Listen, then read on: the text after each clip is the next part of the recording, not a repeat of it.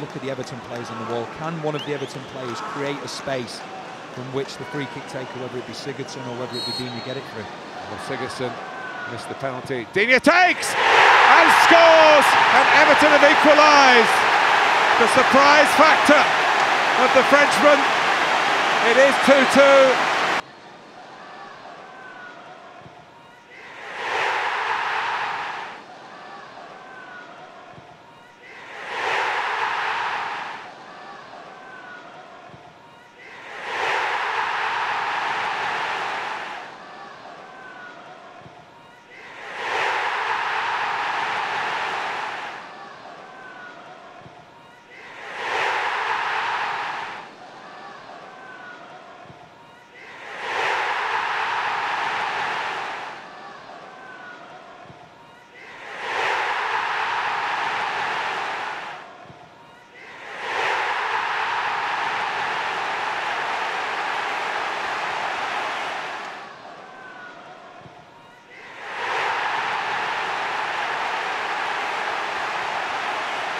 They ask Kevin Friend how much longer there is to go. A reprieve for Marco Silva and indeed for Sigurdsson, who left it here for Digne, who did the job superbly.